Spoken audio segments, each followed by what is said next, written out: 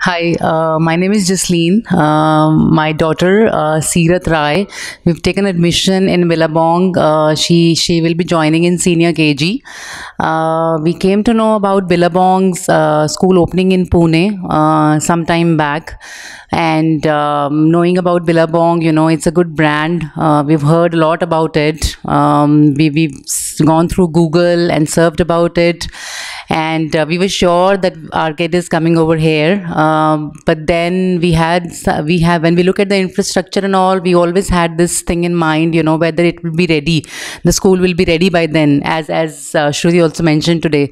But um, but they have, have definitely proved us wrong. We are very happy to see the infrastructure today um, you know, and uh, the way it is being designed, looking at um, today's requirements of the kids.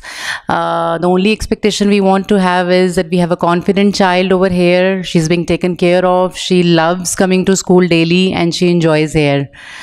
Hi, I'm Sudarshana Singh, and my daughter's name is Mischa. She'll be joining the same senior KG batch only.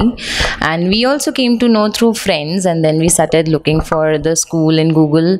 And when I uh, searched about it, I found it uh, to be a very good school. The chain of schools it has, and about ma'am uh, Lina Ashar ma'am, and then we were quite impressed. But then till then we did not decide. Then slowly, slowly, when we saw the infrastructure getting ready, uh, then suddenly we came in. Uh, we started talking to the faculty members, and then we decided we'll go ahead with the school.